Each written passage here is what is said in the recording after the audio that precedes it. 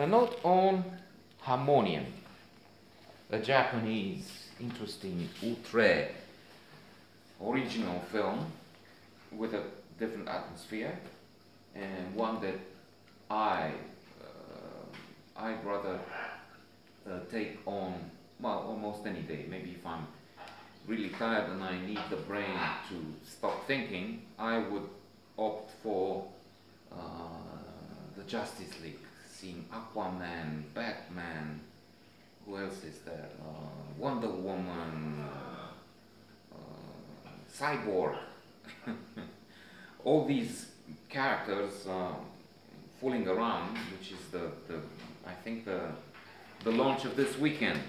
It's the thing, but I'm I'm not taking that. As I said, I would prefer Harmonium, except for a day when I just can't think straight, maybe. Um, so we have Toshio, who has a, a sort of a, a, workshop, a place where he manufactures or fixes things, which is already interesting and uh, somewhat peculiar because in this world, uh, day and age, um, uh, Japan manufactures, yes, cars, but even these would be made around the world and some production is in Japan, but small shops uh, have all moved to China and Vietnam is the feeling, but then it looks like this would change again with uh, more and more use of robots. So uh, that's one interesting premise. And then Yosaka comes in. Uh, he's, he's, he's a man who went to jail for a murder. We don't, we don't get all the details and it's interesting the way they present the plot and the way we, um, the viewers, uh, get into it without knowing much. There's a, a mystery, a, a, fog hanging over what happened in the past, what, what is going to happen with this guy who was being involved in this, uh, but seems uh, restrained. Well, it's also true that the Japanese people in the in the East, Far East, uh, are not so keen on exposing themselves and showing emotions all the time. Uh, there's a term called fudoshin, the idea being that one is supposed to show maybe um, um, a restrained smile uh, because one, an individual, pays much more attention there in the East to community, to society, themselves. In the West, us here, we're more, much more individualistic, concerned about ourselves, about the persona, and, so on, with the benefits and and um, side effects that come out of this. But in the East, they're more concerned with the community. And the idea of Fudoshin is you should not uh, project your sorrows if you're unhappy, sorrow, sad, terrified, whatever. You should not uh, go about with a face that affects others. And the same thing, if you're happy, exuberant, don't throw that on the others. The others might have other worries, they don't want to see you. They have, so be there in between. Maybe the golden mean of Aristotle. So anyway, um, we soon learn that Toshio was in on that job too.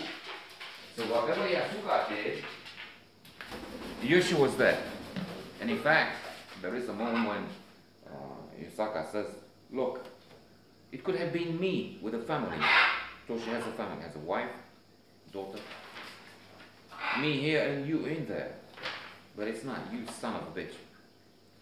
I, I, I don't, uh, I'm not saying he used that term, but that's basically the idea. And he used a, a, a but then he says he's joking. An occasion with which we we get deeper towards the core of the truth. Uh, so Yosaka becomes close to Aki, the wife of Toshio, and for a while it seems that they are about to have a love affair. Uh, maybe he's more suitable than this Toshio guy. You know, Yosaka at least paid his for his uh, crime. There's punishment involved. Maybe there's redemption, as opposed to this uh, Toshio guy who has been responsible, guilty, an evil man, and he didn't even pay anything for it, and he leaves the deceiving. And then there's revenge on Hotaru because Aki re- re- rejects him. The daughter ends up in a in a wheelchair, and for a large part of the film, the couple try to find Yosaka and make him pay for it.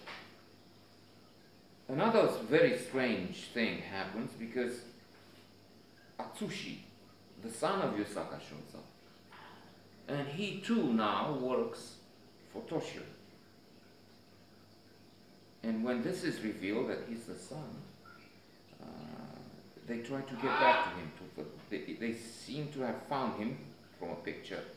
And Aki says at one point, I want to kill you in front of his eyes. That's why we're going there. And the end is also very strange. I'm not saying anything, even if uh, there's a chance in a hundred million that someone sees this and then thinks about watching the film.